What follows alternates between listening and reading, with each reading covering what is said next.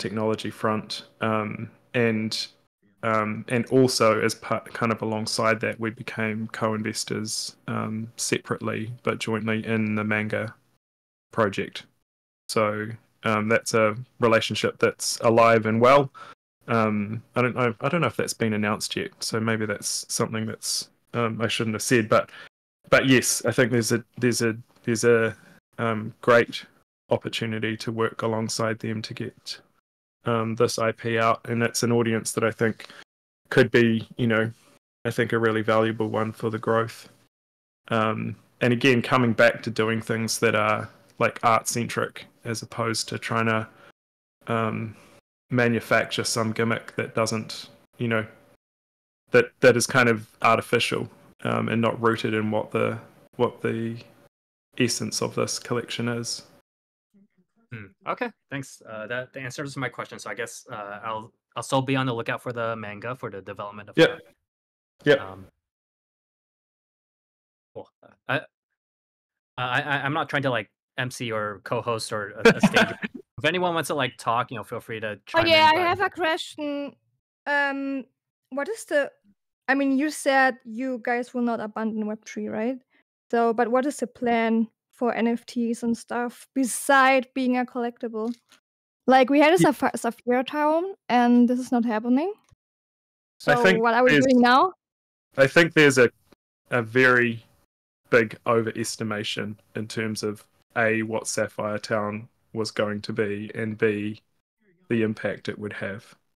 I think that people um, have misunderstood how difficult it is for some, to make something like that work, and um, and also to do that in the context of, you know, what's really going to you're going to make some trade-offs on things that are really going to grow this community if you put your effort and time into that.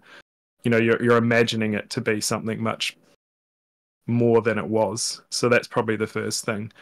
Um, I think that there there are huge opportunities for us to take Cool Cats into experiences where there are huge audiences already, um, and where you don't have to build up, um, you know, all of the stuff that goes along with operating something like Sapphire Town, um, and we can take advantage of the work that's being done, you know, a lot of that kind of platform technology work that's been done on the Futureverse side, and alongside some of the big distribution opportunities we have um, with these kind of more well-known platforms and um, and and IP that is already kind of well known by by people around the world, and put put Cool Cats adjacent to those things, and get way better outcomes um, than what we could have out of going going to market with something like Sapphire Town. So the question about like abandoning Web three or not, I think I, I tried to answer it in, in the in the text chat, but like that boundary is kind of an artificial thing um, in my mind. Like people focus on that that word too much without thinking about how um, you know how to reach new audiences. Um, so that yeah um, that's not cool. Um, uh, I think we have to Shut mute up. some people. James, shut up. so that so so you can see that like Web three is an extremely important part of like all the stuff that we're building. But what we're trying to do is take like the user journey to a place where people can come and experience this thing without having to be a technology expert. Um, so there's no intention to abandon the Web3 elements of this. It's just to make it easier for people to to ac- access and to um, and to use.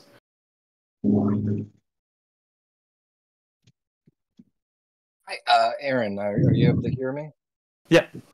Oh, um, cool. Well, a, um, thanks for coming in. I'm excited about. Uh, I've been excited about the Futureverse stuff since you guys first came on, and I've um, participated in a lot of the stuff you've got going on with Futureverse. I've got my root staked, and um, I've got 12 prisms for Third Kingdom, and I'm looking forward to Readyverse. My question is, I have 11 cats. I'm still holding since Mint, and um, I'm excited about the future that you guys have. I just am kind of wondering where Cool Cats fit into the mix compared to the rest of the you know Fluf World and future verse stuff that you guys have in that? Are they as core a part of it as uh, everything else that you have? Um, will i benefit by holding my cats and being in that system? Or am i going to be better off having futureverse native nfts I mean, I, I, I think, you know, I'm not going to give financial advice on the chat here, but um, I think that the the most important thing is that um, we want to make the IP successful, and we're putting, you know, a lot of effort behind that. Um, a lot of our own personal time and, and energy, particularly Shara, has gone behind behind making that a success, and we wouldn't be doing that if we didn't think it was important to the overall ecosystem. Um, you know, the there's a lot, you know, there's a lot going on in, in our um, space, and even more now that other people are starting to to build with us. Um, so, um, so I think the key thing is that our our there is a lot of focus on making this success. That's the first thing. Um, two, there's already opportunity there for people to take advantage of of you know being Cool Cats being part of the community if they want to play those games. And three, we really want to bring the focus back to making the IP special and loved and fun again. Um, and so that's that's probably the best way to take take away from that. Yes, it is important. Um, if you want to play those games, there'll be plenty of opportunity to play them. But but really, the focus and the effort and the work is going into making making Cool Cats fun and loved again. I had a short question about um, like the sidekicks and I know that they're like kind of far off in like, Mhm. the third one, and there's just some there was just a lot of good art that's still kind Yeah. of hidden behind, and it's kind of locked in there with the materials being really hard to obtain because you know people have just forgotten about it or whatever. Mhm. Is there any way we can get like release of that art, or like is that going to be something later on? Because I'm I'm assuming that was part of Sapphire Town um, in some way, shape, or form but is are we gonna see more of that? Like I know it says like first edition. Is there a second edition coming, or or is that just kind of just on hold for now? Um, I would I wouldn't say it's on hold per se. It's more like let's kind of get the engine running again and like chur- churning over kind of the the um the core of it, and then we can start to look to expand from there. Um, and the um, the animation is kind of you know central part of that, and it gives us the opportunity, the platform to start to introduce other IP around Blue Cat. Um, and I think you'll start to see that stuff come out in in the the way that the shows and this and the episodes roll out. That now we have a platform that we can start to tell these other stories through, um, and lead with that storytelling, and then see where that takes us. Okay, Yep. thanks. Yep. Aaron, I have a question now. Yep. So I don't I don't know if it was addressed already and I wasn't in here, but I feel like the big elephant in the room is is Jarvis. It wasn't mentioned one time. So you probably won't go into details there, but I feel like he was pretty crucial in some of the big things that had happened. Some other team members, I guess moderators in the Discord, yeah, I could see, you know, moving web 2 or whatever the thing may be, getting rid of them. But what what's up with Jarvis? Where Yeah, where I, I can't actually get into into details on that, unfortunately. Um, just not appropriate to do that. Yeah, on this forum. Uh, oh, okay. Yeah. All right.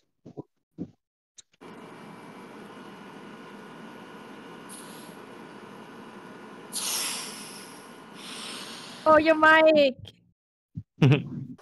Yeah, there's about 10 people with open mics, guys. Just pay attention and check, make sure your mic is muted. Just respect the room, guys. That's nice of Aaron. Thank you for giving us your time, Aaron. Appreciate you. No, that's that's okay. More than happy to. Yeah.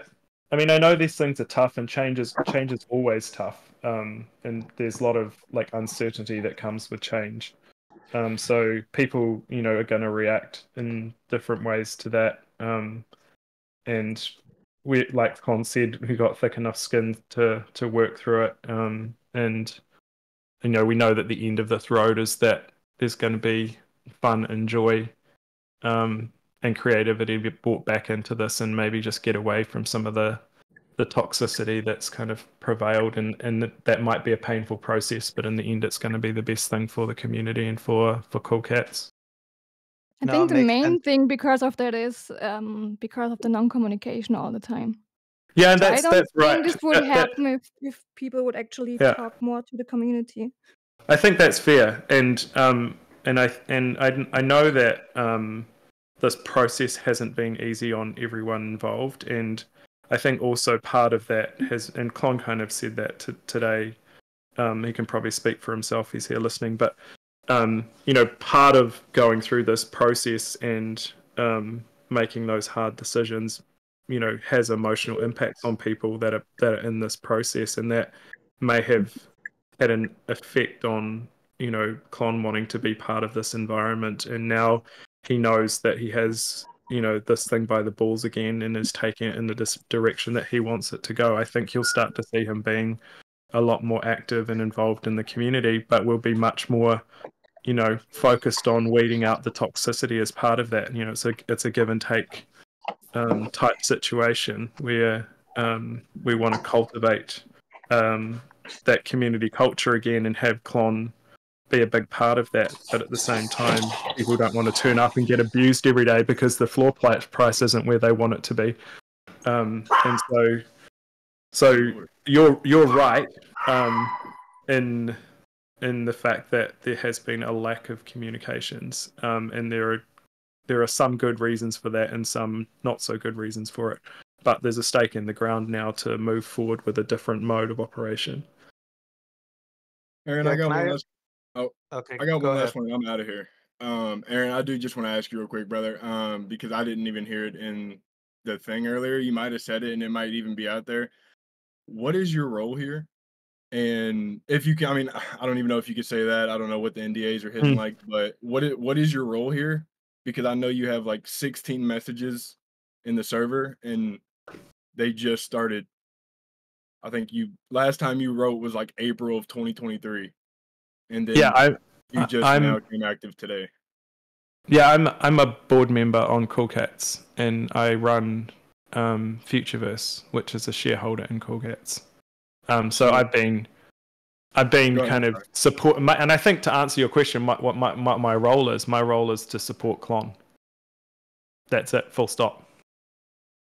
Got you, man. Well, Clon has been a big, big, big instrumental part of, of things that I've done. So, of course, I have nothing but love for Clon. And I mean, likewise with you, I have no uh, hate in my heart for anything. I am, I guess, like a like a father would say, I am disappointed in a lot of things that have happened. But I feel like as someone who's been a long time member, I should be able to voice that opinion. I know that's, I mean that in no disrespect, but I was just curious, and that was a genuine question. Again, I was not here to attack no, you or anyone on the team, so I don't want you and to. and it's and, and that. disappointment's okay and i think that everyone i think we should be free as a community to share our thoughts and um, to um, dissent and to have um, you know strong opinions about things positively or negatively um, but you know falling from that into abuse and toxicity can't be tolerated and i think that's something that needs to be clear we're very open to criticism,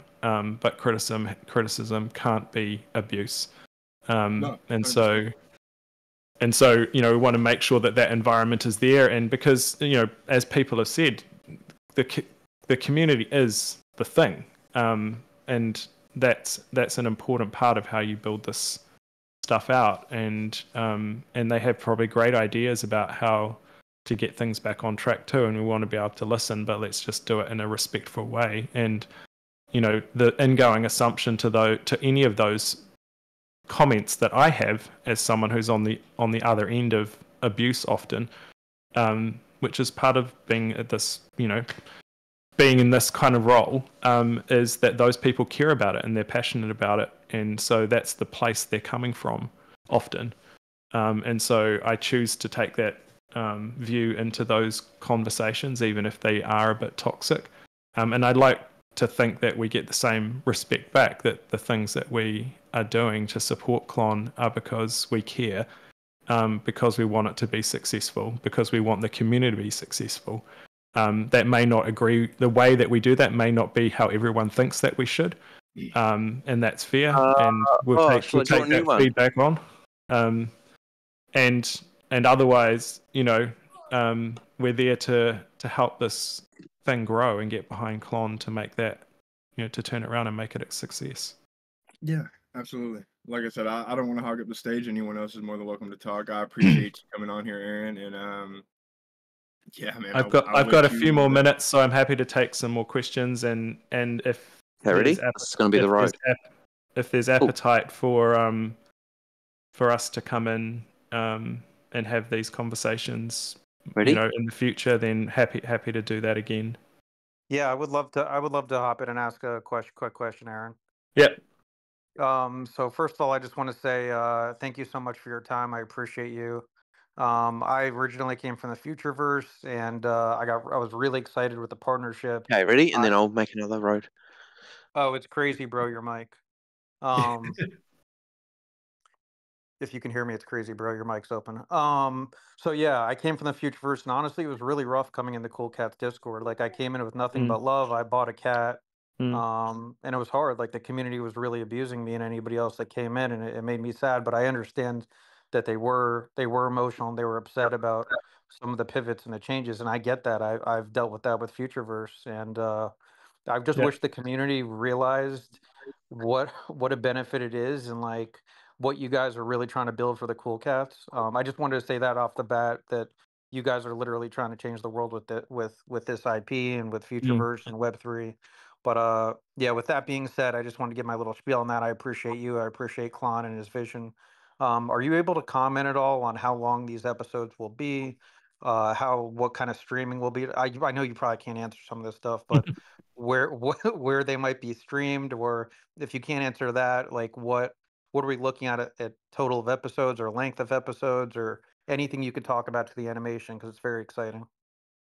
Yeah, I mean, I th- I think the best thing to say is that it's it's extremely well done um, by one of the top teams in the world. It's got top talent behind it, and we've got you know big plans for where to take it. And as you're developing IP and and taking it through this process, there are different um, phases in its life cycle as you kind of grow the audience from it. And so there's a good plan. You know, Shara's been producing TV and movies since she was in her early 20s um, with some of the best in the world and um, you know she she knows what she's doing in this space so let's let's see how it rolls out Okay, appreciate it. Thanks, guys.